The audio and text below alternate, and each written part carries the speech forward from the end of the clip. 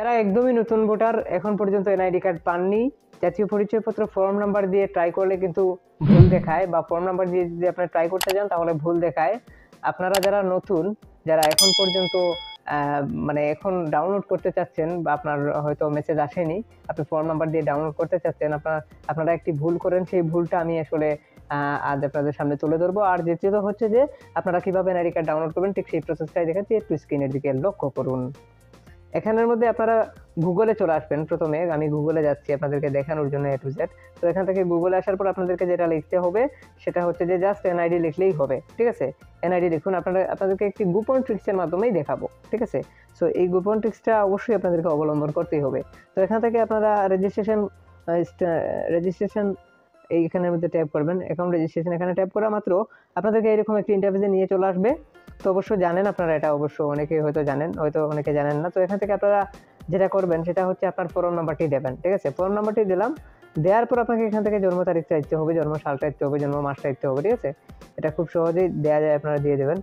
So এখান থেকে আমি আসলে ফোন নাম্বারটা ভালো করে দেখে নিচ্ছি যে ফোন নাম্বারের মধ্যে কোনো ভুল আছে কিনা। এটা ভালো করে খেয়াল করতে হবে যে ফোন নাম্বারের মধ্যে কোনো ভুল আছে কি না তারপর আপনাকে জন্ম তারিখগুলা দিতে হবে। তো আমি জন্ম মাস, জন্ম বছর অ্যান্ড জন্মদিন এগুলো দিয়ে দিলাম। তারপর এখান থেকে আপনাকে যেটা করতে হবে, এই ক্যাপচারটাকে পূরণ করতে হবে।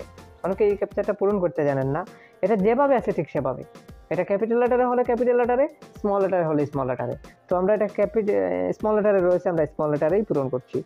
সো এখানে আর আর টু ডি এফ তো এটা এটা দিয়ে তারপর সাবমিটে প্রেস করতে হবে। সো সাবমিটে আমরা প্রেস করে দেখি আসলে কি আসে। জাতীয় পরিচয়পত্র ফর্ম নাম্বার জন্ম তারিখ ভুল দিয়েছেন। জাতীয় পরিচয়পত্র ফর্ম নাম্বার, জন্ম তারিখ সব নাকি ভুল দিয়েছে। আসলে ভুল কোনো কিছুই আমি এখানে দিই নেই। দেখি আসলে কি হয়। আবারও ক্যাপচারটা পূরণ করব। দেখি আসলে কেন ভুল দেখাচ্ছে, ঠিক আছে? এই ভুলটা আমাকে বুঝতেই হবে যে এই ভুলটা কেন দেখাচ্ছে, ঠিক আছে? তারপর এই এই যে এভাবে যে বারবার আমরা ট্রাই করি, এই কারণে লক হয়ে যায় কিন্তু, মাথায় রাখবেন। আচ্ছা এভাবে ছয়বার ট্রাই করলে এক লাগা এক লগ্র ছয়বার ট্রাই করলে এটা কিন্তু লক হয়ে যাবে। এটা কিন্তু নিশ্চিত থাকবেন আপনি বুঝতেই পারবেন না এটা লক হয়েছে। কিন্তু লক হয়ে যায়, ঠিক আছে? এভাবে বারবার ট্রাই করলে জাতীয় পরিচয়পত্র ফর্ম নাম্বার জন্ম তারিখ ভুল দিয়েছেন, এটা যদি লেখা আসে বারবার আপনি যদি বারবার ট্রাই করেন ক্যাপচার পূরণ করে করে, তাহলে কিন্তু আপনার লক হবে হান্ড্রেড পার্সেন্ট লক হবে, ঠিক আছে? ছয়বার ট্রাই করলে লক হয়, ঠিক আছে?